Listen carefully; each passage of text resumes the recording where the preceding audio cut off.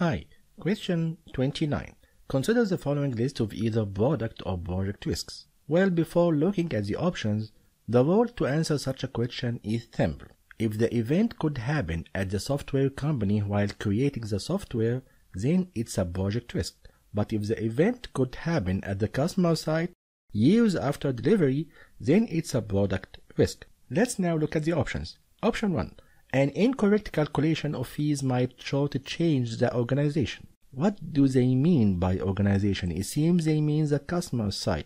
But let's assume you are not sure about that. So let's move on to pick an option that we sure about 100% to build upon it. Option 2. A vendor might fail to deliver a system component on time. This could happen while we are building the software. So this is a project risk. Good. Looking at the answer, then we now down the answers to, to either A, C, or D. Would option 3 help us narrow the selection more? Yes. So let's look at option 3. A defect might allow hackers to gain administrative privileges. Hackers will hack the customer site. So this is a product risk. So the answer are now now down to A or D. Would option 4 help us now the selection more? No. So ignore it. Would option 5 help us narrow the selection more? Yes. Option 5. A defect prioritization process might overload the development team. Development team. Then this is a project risk. So the answer is D. That was a good question. Hope you have enjoyed it. Question 30. Which of the following is the task of a tester? As usual, with this kind of questions, let's pick a one for sure answer.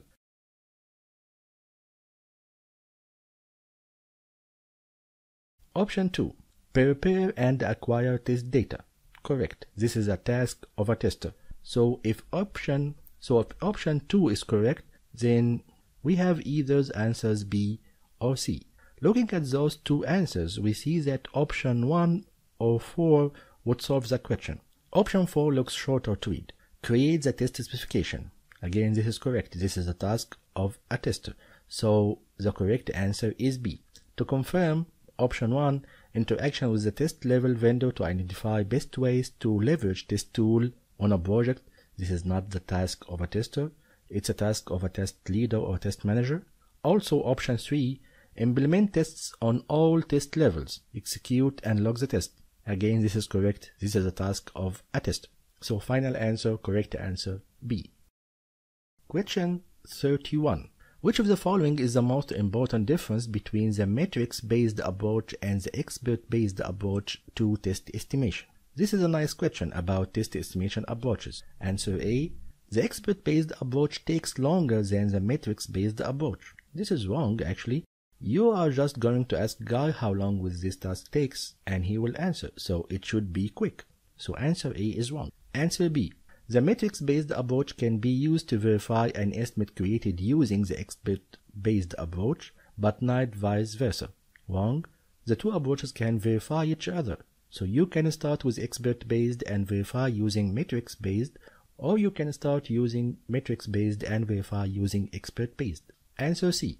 The metrics based approach uses calculations from historical data, while the expert based approach relies on team wisdom. This is correct. Expert based approach for estimation depends on people experience, while metrics based approach depends on history data and equations and calculations. So correct answer should be C. Let's confirm by looking at answer D. The metrics-based approach is more accurate than the expert-based approach. Not really. If the historical data used in the metrics-based approach is wrong, then the whole output of the metrics-based is wrong. So there is no guarantee that metrics-based is more accurate than expert-based. So the correct answer here is C. Question 32. Which of the following is most important in the selection of a test approach? This should be a straightforward question. We choose a test strategy for our project as part of test planning and according to your choice, you can change whatever you can to adopt this strategy. Does budget matter? No. You can ask for a budget you need to execute the test strategy. Does tools matter? No. You can buy the tools you need for your strategy. Does willingness of the team to learn matter or not? No. It's what you see best for the project matter. Does available skills and experience matter? Actually, yes. Because if something is not available, then there is nothing you can do about it. For example, if you need a performance testing subject matter expert and there is no one in the area available, then there is nothing you can do about it but actually choose a different strategy. So the correct answer here is C.